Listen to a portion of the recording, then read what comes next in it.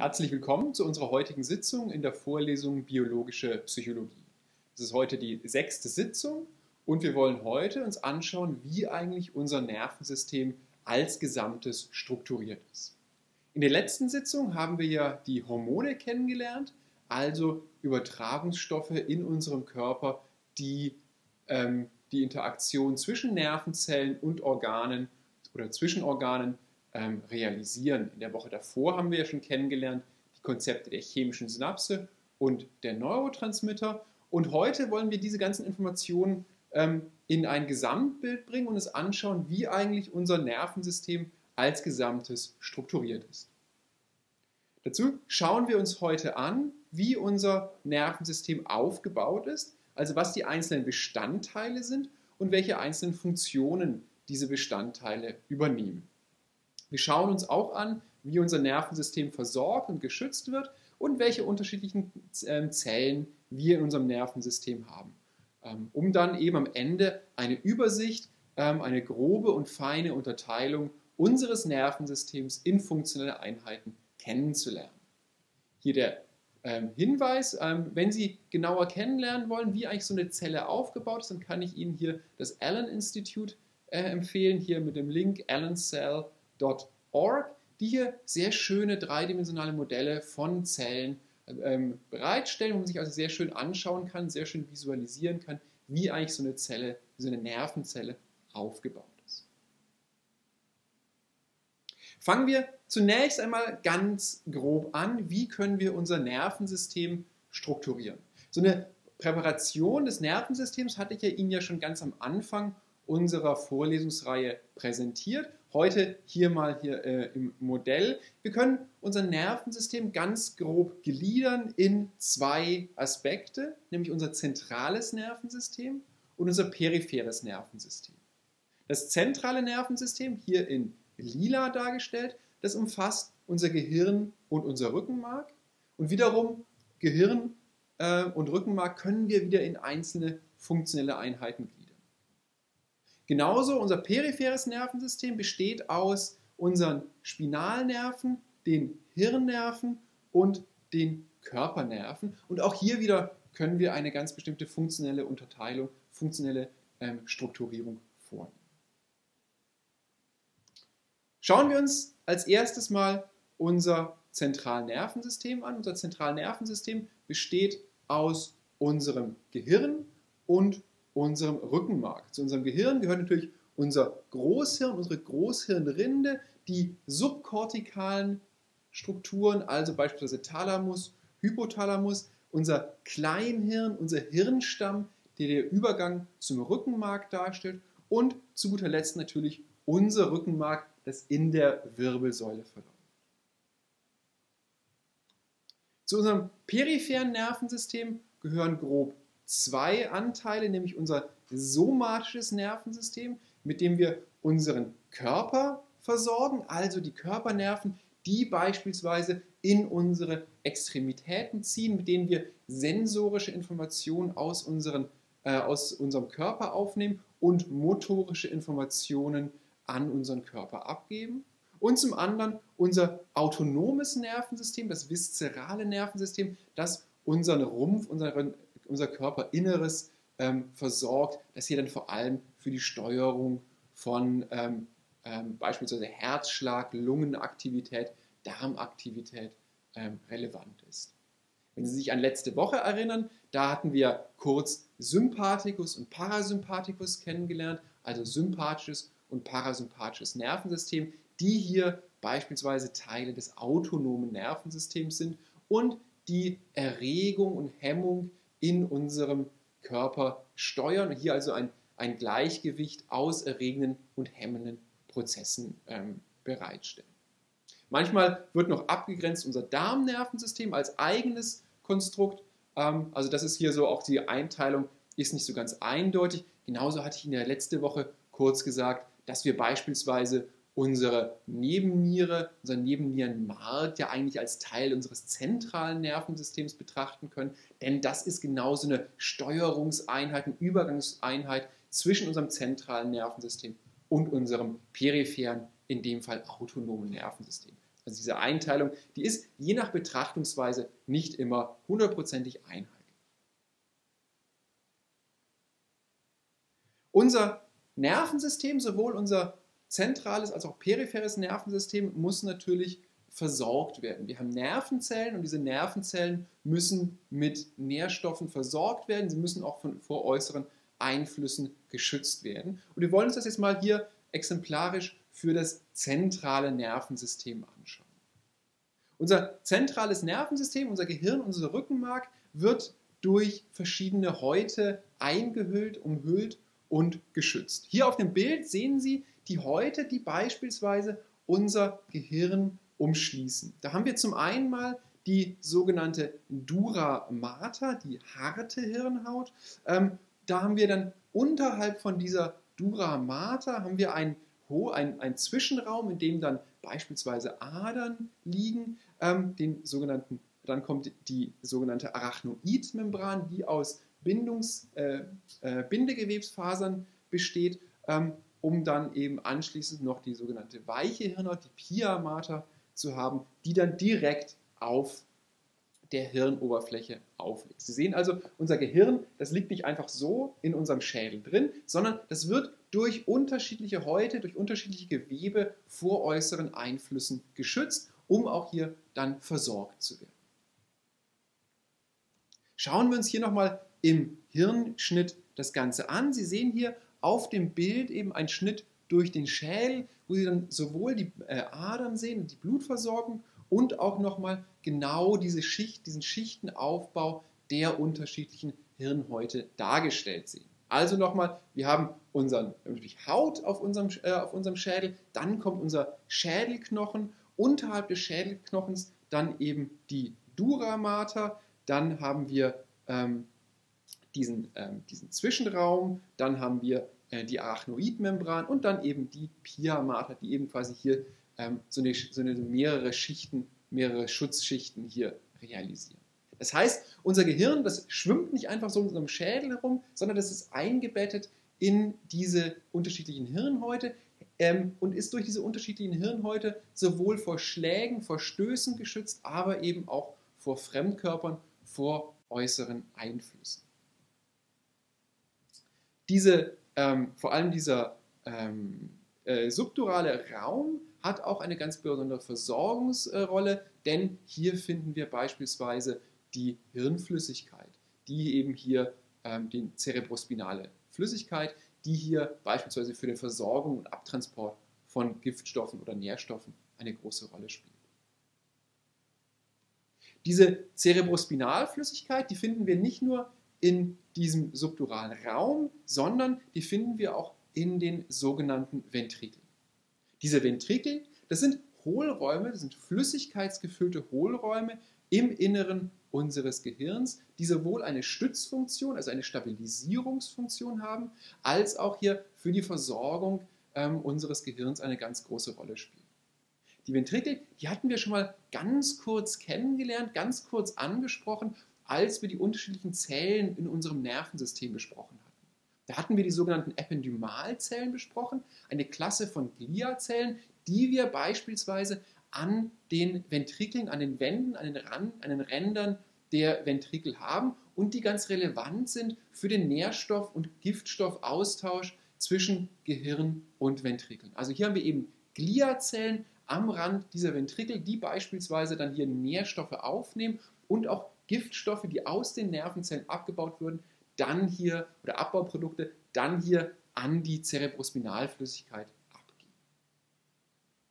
Diese Ventrikel, die teilen wir in vier unterschiedliche Bereiche ein. Wir haben eben einmal die lateralen Ventrikel, die relativ großen Hirn, äh, großen, ähm, großen Hohlräume äh, in der Mitte des Gehirns. Dann haben wir eben ähm, das dritte Ventrikel, das dann genau in der Mitte des Hirns liegt. Und das vierte Ventrikel, das dann äh, Richtung, ähm, Richtung Rückenmark runterzieht. Wir werden das gleich auch in unterschiedlichen Ansichten noch genauer sehen, wo eigentlich diese ganzen Ventrikel liegen. Schauen wir uns das mal im ähm, Schnitt durch das Gehirn an. Wir schauen jetzt also gerade jetzt von vorne auf unser Gehirn drauf. Dann sehen wir unsere beiden Hemisphären, also die beiden Seiten unseres Großhirns in der Mitte der Balken, also die Verbindung zwischen den Großhirnhemisphären. Und dann sehen wir eben hier die beiden Lateralventrikel, die eigentlich genau in der Mitte des Gehirns paarig angeordnet liegen. Drunter eben dann ein drittes Ventrikel, das dann eben nicht mehr paarig angeordnet ist und das dann eben übergeht dann zum vierten Ventrikel, was wir dann auf Höhe des Kleinhirns am Übergang zu unserem Rückenmark finden. Wir müssen natürlich nicht nur Giftstoffe oder Abbauprodukte aus unserem Gehirn abtransportieren über die Cerebrospinalflüssigkeit, sondern wir müssen unser Gehirn ja auch irgendwie versorgen. Und für diese Versorgung, da ist unser Blutgefäßsystem von ganz zentraler Bedeutung. Hier sehen Sie mal auf so einer Darstellung, wie sich das Blutgefäßsystem eigentlich in unserem Gehirn verteilt. Da haben wir Arterien. Arterien, das sind ja die Adern, die Blut vom, vom Herzen wegtransportieren. Also hier die Arterien, die eben hier das Blut aufsteigend hier über ihre Halsschlagadern in das Gehirn hochtransportieren. Diese, die können Sie auch selber bei sich ähm, ertasten. Wenn Sie also mal hier rechts und links an Ihren Hals hintasten, dann können Sie da eben Ihren Puls spüren, also den Herzschlag spüren, der eben jetzt hier Blut in Ihr Gehirn pumpt. Und diese aufsteigenden Arterien, die kommen hier an der Rückseite der Temporallappen, kommen die an und verzweigen sich von da dann auf die gesamte ähm, Großhirnrinde, auf die ganze Großhirnoberfläche und gehen dann von da eben in die einzelnen Bereiche, in die einzelnen Furchen in unser Gehirn hinein. Ganz wichtig, das ist eben hier diese Adern, die bewegen sich eben hier in diesem, ähm, in diesem Zwischenraum zwischen den Hirnhäuten. Wir haben es vorhin gerade auf der Abbildung gesehen. Schauen wir uns das Ganze mal von der Innenseite des Gehirns an. Auch hier sehen Sie natürlich, wir, wir haben diese Arterien nicht nur auf der Oberfläche unseres Gehirns, also nicht nur hier, nicht nur außen an der Oberfläche, sondern natürlich auch, upp, natürlich auch hier an der Innenseite unseres Gehirns, also ähm, quasi überall da, wo wir quasi eine, eine Hirnoberfläche haben, da finden wir diese ähm, Adern, diese Arterien. Ganz wichtig dabei, wir haben natürlich eine Blut-Hirn-Schranke, also unser Nervensystem, unser Gehirn ist nicht direkt mit dem Blut verbunden, sondern wir haben hier um unsere Blutgefäße drumherum ähm, eine Umhüllung, eben unsere Gliazellen, Muskelzellen um diese Adern drumherum und dann Gliazellen und diese Gliazellen, die sind dann relevant dafür, die Nährstoffe aus dem Blut herauszuziehen und an unser Gehirn abzugeben. Also die haben keine direkte Verbindung zwischen unserem Blutgefäßsystem und unserem Gehirn. Es gibt natürlich Giftstoffe, die können diese Blut-Hirn-Schranke überwinden. Denken Sie beispielsweise an Nikotin, ähm, Cannabis. Das sind alles Stoffe, die können diese Blut-Hirn-Schranke überwinden, können hier also direkt dann ins aufs Zentralnervensystem wirken. Aber in der Regel ähm, wirkt diese Blut-Hirn-Schranke als Schutz unseres zentralen Nervensystems vor Stoffen, die hier in unserem äh, Blutsystem gelöst sind. Fassen wir das Ganze also nochmal zusammen. Zum Schutz und zur Versorgung unseres zentralen Nervensystems haben wir unterschiedliche Mechanismen. Wir haben zum Schutz erstmal ganz grob drumherum unsere Hirnhäute, die, diese Hirnhäute, die umschließen unser gesamtes zentrales Nervensystem. Also sowohl unser Gehirn als auch unser Rückenmark. Wir haben quasi also ein eingepacktes System in diesen Hirnhäuten und diese Hirnhäute schützen unser Gehirn, unser zentrales Nervensystem vor äußeren Einflüssen und vor Verletzungen. Zwischen den Hirnhäuten liegen unsere Blutgefäße. Sie sehen es hier nochmal in der Abbildung und diese Blutgefäße sind eben relevant für die Sauerstoff-Nährstoffversorgung ähm, äh, unseres Gehirns. Aber wir haben eben hier eine Blut-Hirn-Schranke, also eine Trennung zwischen Blutgefäßsystem und Nervensystem. Außerdem haben wir eben noch unsere Cerebrospinalflüssigkeit, also unsere Hirnflüssigkeit, ähm, die wir sowohl um das Gehirn drumherum in diesem äh, Zwischenraum zwischen den, äh, zwischen den Hirnhäuten haben und auch in den Ventrikeln. Und diese Cerebrospinalflüssigkeit, diese Hirnflüssigkeit, die ist ganz relevant für den Abtransport von Giftstoffen, von Abbauprodukten und eben auch die Versorgung mit Nährstoffen.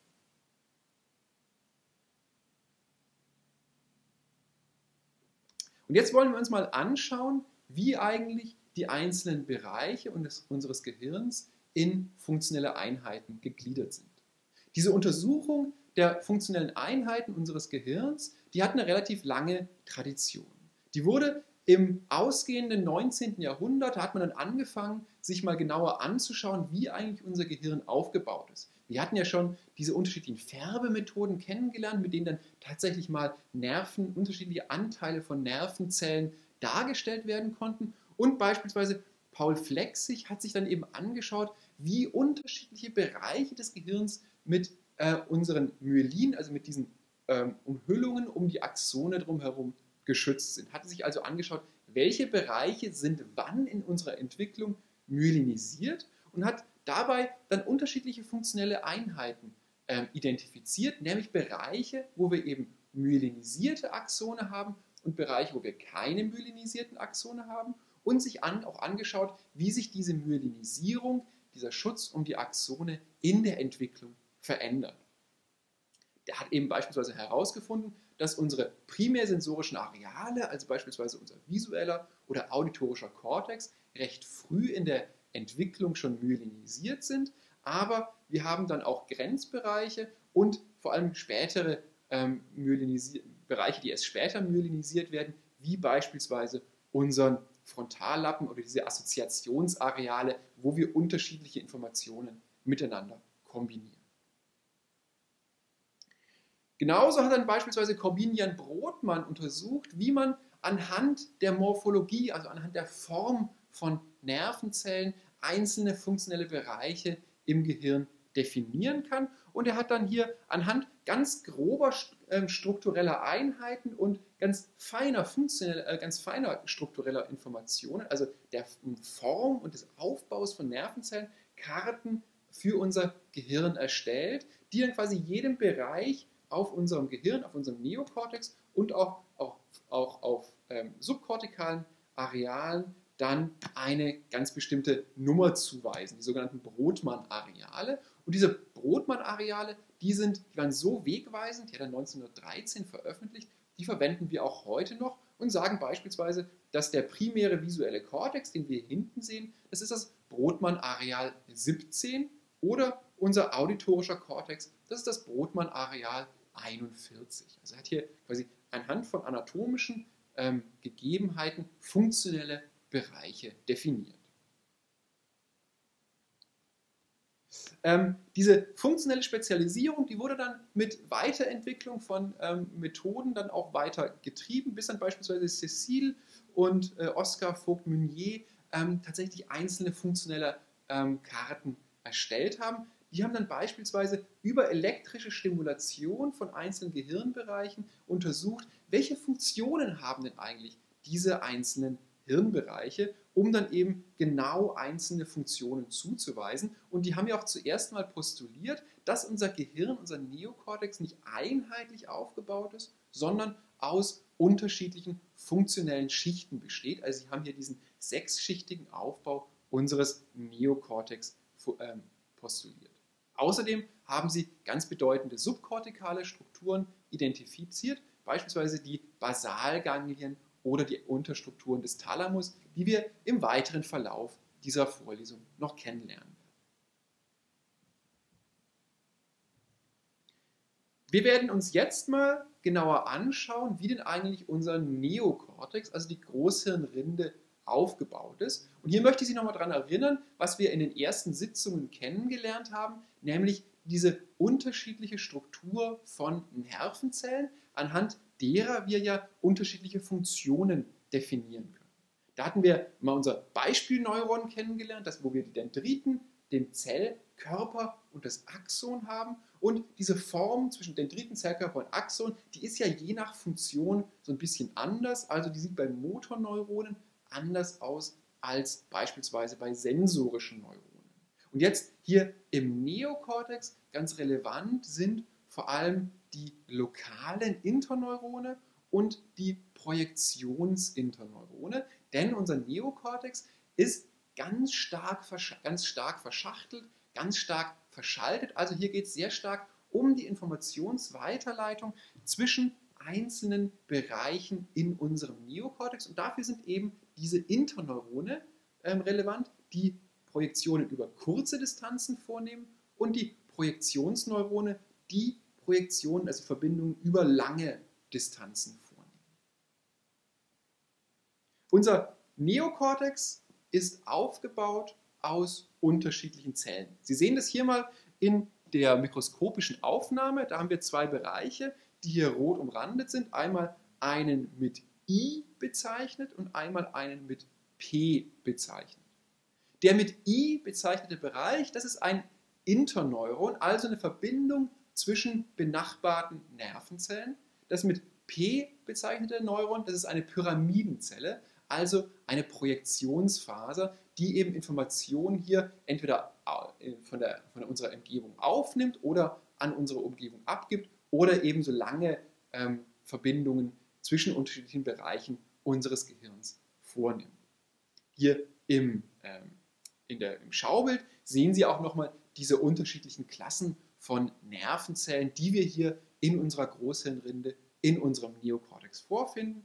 Eben unsere Pyramidalzellen, diese Projektionsfasern und dann eine ganze Klasse von Interneuronen wie diese Basket Cells, die Chandelier Cells ähm, oder hier ähm, diese, unter, ähm, diese unterschiedlichen Verschaltungsstrukturen. Ähm, ähm,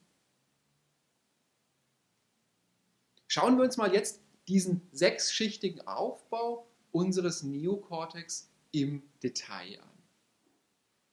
Unser Neokortex, der ist aus sechs Schichten aufgebaut, die jeweils unterschiedliche morphologische, also strukturelle äh, Eigenschaften haben, die aber auch unterschiedliche Funktionen einnehmen. Ich habe es Ihnen hier mal aufgelistet. Fangen wir mal von außen an, also von unserer Großhirnrinde an.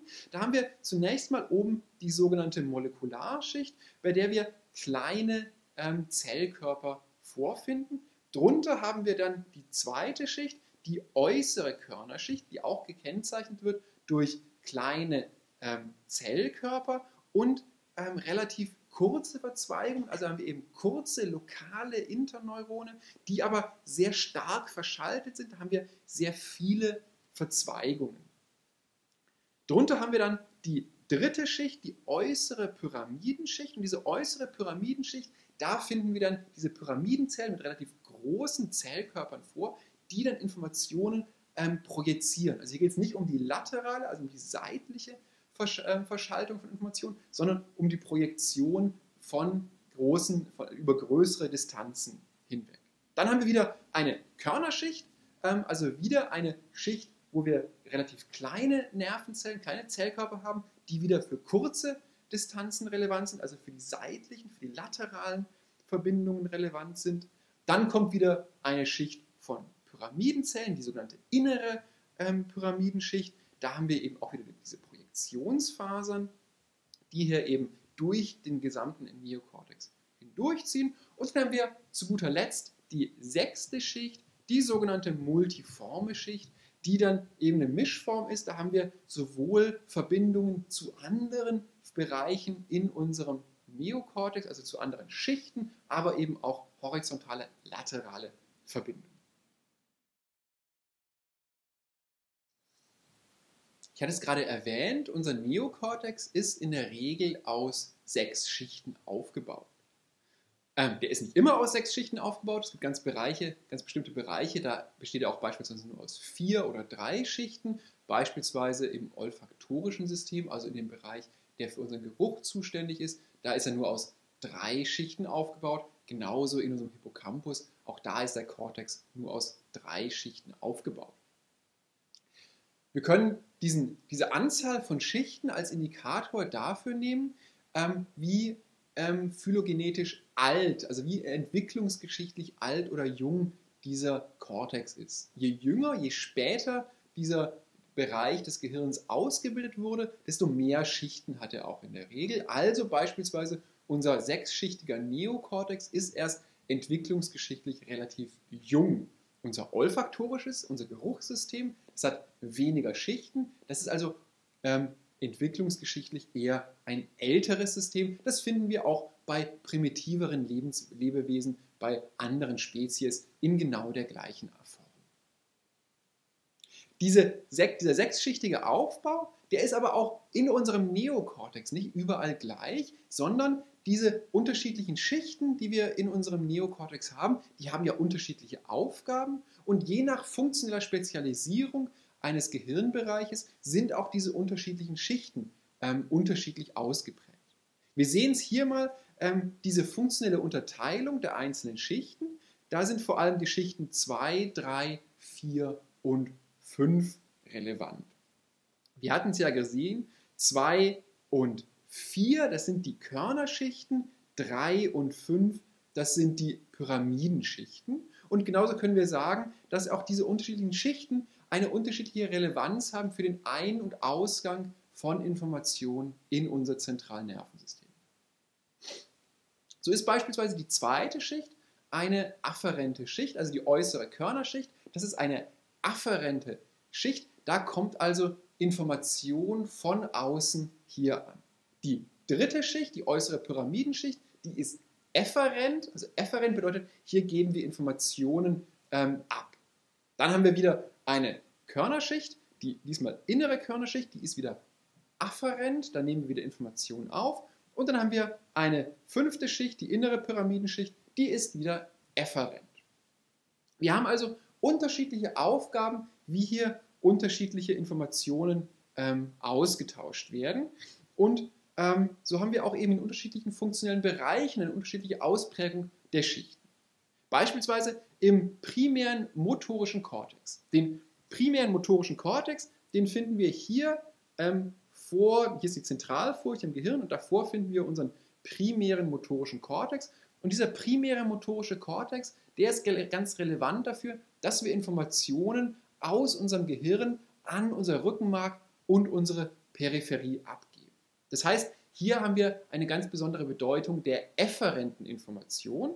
Und hier ist auch beispielsweise diese dritte Schicht, die, die, die dritte, ähm, also die äußere, die, äh, die dritte Schicht, diese Pyramidenschicht, besonders ausgeprägt. Andersrum haben wir beispielsweise in primären visuellen Kortex, also hier in unserem visuellen System, da wird ja sehr viel Information aufgenommen. Und da ist diese dritte ähm, Schicht, diese efferente Schicht, die ist eigentlich nicht so wirklich wichtig. Da müssen wir nicht so wirklich viel Information abgeben, sondern da müssen wir viel Information aufnehmen. Und deswegen ist beispielsweise hier diese vierte Schicht, diese afferente Schicht, mit der wir Informationen aufnehmen, die ist hier besonders ausgeprägt. Ganz wichtig dabei, diese efferenten und afferenten Informationen, die ähm, beziehen sich sowohl auf, den, äh, auf die Informationen, die wir von außen aufnehmen und nach außen abgeben, aber die beziehen sich auch auf die Kommunikation mit beispielsweise subkortikalen Arealen wie dem Thalamus oder dem Hippocampus. Diese unterschiedlichen Schichten in unserem Nervensystem sind also relevant sowohl für die Kommunikation zwischen unserem zentralen Nervensystem, Rückenmark und peripheren Nervensystem, aber auch ganz zentral, ganz relevant für die Kommunikation innerhalb unseres zentralen Nervensystems. Und hier sind zwei Konzepte ganz wichtig, nämlich einmal die aufsteigende, die Feed-Forward-Information und einmal die absteigende, die Feedback-Information. Feed-Forward, aufsteigende Information, beschreibt die Information, die von einem Areal nach oben in der Hierarchie weitergeleitet. Beispielsweise hier kommt Information aus unseren sensorischen Arealen, kommt hier in der ähm, Schicht 2 an, wird dann von der Schicht 2 in die Schicht 3 weitergeleitet und dann ziehen hier aus diesen ähm, oberen, oberen Schichten, den Schichten 1 bis 3, dann Axone in die Schicht 4 weiter. Und zwar in Schicht 4 eines in der Hierarchie weiter oben stehenden, eines höher angeordneten Areals. Also beispielsweise in unserem visuellen Kortex haben wir unseren primären visuellen Kortex. Da kommt Information aus unserer Umwelt an und die wird dann verarbeitet, erstmal in diesen oberen Schichten und dann wird die Information vom primären visuellen Kortex in den sekundären visuellen Kortex weitergeleitet und eben die Information wird hier im dritten, in der dritten ähm, Schicht ähm, entspringt die und läuft dann in die vierte Schicht ähm, des nächsten Areals ein. Das heißt, hier in der äh, höher, in höher gelegenen Arealen enden die Informationen, die Informationen kommen hier immer in der vierten Schicht. Das gegenteilige, den gegenteiligen Prozess haben wir natürlich auch. Wir haben auch absteigende Verbindungen, also dass in der Hierarchie höher gelegene äh, Areale absteigende Informationen auf primärsensorische äh, Areale zurückspiegeln. Das ist dann genau der gegenteilige Weg. Da entspringt dann diese Information in diesen höher gelegenen Arealen in den tiefen Zellschichten, beispielsweise in den Schichten 5 und 6. Und die Axone ziehen dann eben aus den Schichten 5 und 6 in sowohl äh, die Schicht 1 als auch die Schicht, Schicht 6 der in der Hierarchie nachgeschalteten ähm, Areale. Da haben wir also dann eine relativ diverse ähm, Aufspaltung der Informationen. Aber diese beiden Konzepte, Feed Forward, also aufsteigende Information und Feedback, absteigende Information, die sind ganz zentral für die Arbeit in unserem Nervensystem. Denn Information in unserem Nervensystem, die wird in der Regel nicht linear verarbeitet, also da geht es nicht von einem Areal zum nächsten, sondern wir haben hier ganz viele Feedback- und Interaktionsschleifen. Also beispielsweise in unserem visuellen System. Information, die wir aufnehmen, wird im primären visuellen Kortex verarbeitet, wird dann weitergeleitet in die höheren ähm, Areale, in die Hierarchie höher gelegten Areale im visuellen Kortex. Und diese, diese höher gelegenen Areale, die schicken Informationen zurück, die dann wiederum die Arbeit des primären visuellen Kortex beeinflussen. Genauso werden wir es gleich kennenlernen, haben wir in unserem motorischen System zum Beispiel die Basalganglien, also eine Anzahl, eine Zusammensetzung von Hirnnervenkernen, die sich alle hierarchisch ähm, gegenseitig beeinflussen und hier so ein ganz komplexes Zusammenspiel zwischen unterschiedlichen Informationen realisieren. Damit sind wir am Ende des ersten Teils dieser Vorlesung. Ähm, und jetzt schauen wir uns gleich im zweiten Teil genau an, welche Aufgabe eigentlich die einzelnen Anteile unseres zentralen Nervensystems haben.